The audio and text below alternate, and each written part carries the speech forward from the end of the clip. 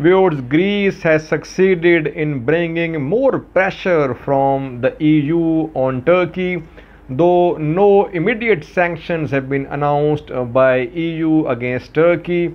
But the words of Josep Borrell, who is the foreign minister of EU, these words show that Greece has partially succeeded in bringing more pressure upon Turkey viewers.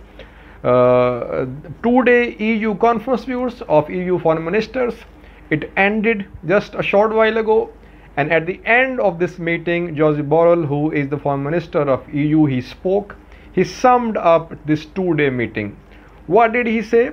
uh, we'll discuss in this video and Turkey's response as well because Turkey's foreign ministry it has also issued a statement in response to the words of Josep Borrell.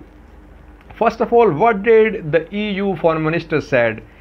Because he said four things. Firstly, he said that uh, Turkey was acting unilaterally. Sec secondly, he said that there was growing frustration in the face of Turkish behavior. And thirdly, he said that EU's working groups they will speed up their work to sanction those Turkish individuals whose names have been referred by Cyprus regarding uh, drilling activities near Cyprus by Turkey.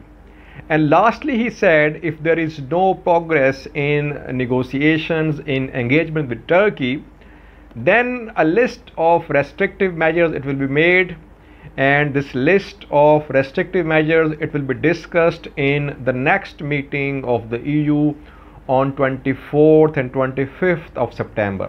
Viewers, these words of Josep Borrell indicate that EU is frustrated with Turkey's exploration activities in the Eastern Mediterranean and EU is now considering sanctioning Turkey. Uh, that is why EU's working groups they will speed up their work regarding sanctioning of those Turkish individuals who are involved in drilling activities near Cyprus partial success, I would say, viewers, for Greece, though Greece wanted immediate sanctions against Turkey.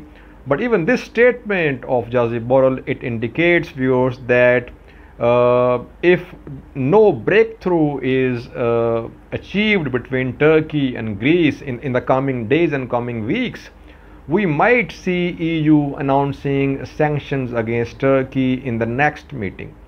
Immediately after these words of Josep Borrell viewers, Turkey's foreign ministry issued a statement and this statement says that Turkey will continue with its drilling activities in the Eastern Mediterranean and secondly it says that the sanction language used by the EU it will increase Turkey's resolve to continue drilling in the Eastern Mediterranean.